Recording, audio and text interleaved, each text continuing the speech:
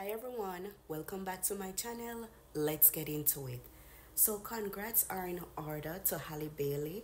She announced on January 6th that she had welcomed her first child, a baby boy with boyfriend DDG. The new mom shared the news in a sweet Instagram post that showed a photo of her manicured hand holding an infant hand that had a gold bracelet with the name Halo. She captioned the photo and it reads Even though we're a few days into the new year, the greatest thing that 2023 could have done for me was bring me my son.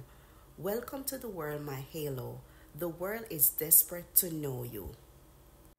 DDG also captioned a photo and writing, My biggest blessing by far. Son, son, never been so in love.